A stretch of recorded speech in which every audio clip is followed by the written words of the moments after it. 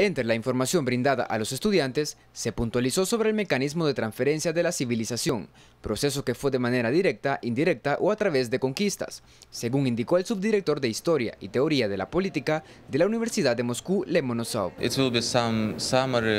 Para todos aquellos estudiantes de la UTEC que estén interesados en estudios comparativos sobre la evolución de las civilizaciones. Muchas investigaciones en varios países, no solo los míos, sino que de varios otros investigadores científicos.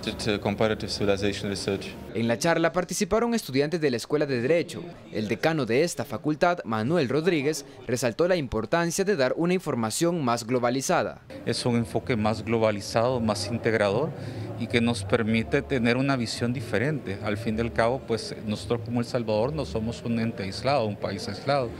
Y lo que queremos es que tener un enfoque más... Eh, más eh, totalitario y más globalista al efecto de poder tener una mejor visión a futuro. Las autoridades de la UTEC destacaron la importancia de desarrollar estas ponencias en pro del crecimiento académico de los estudiantes. Para Teleprensa Canal 33, Jonathan Vázquez.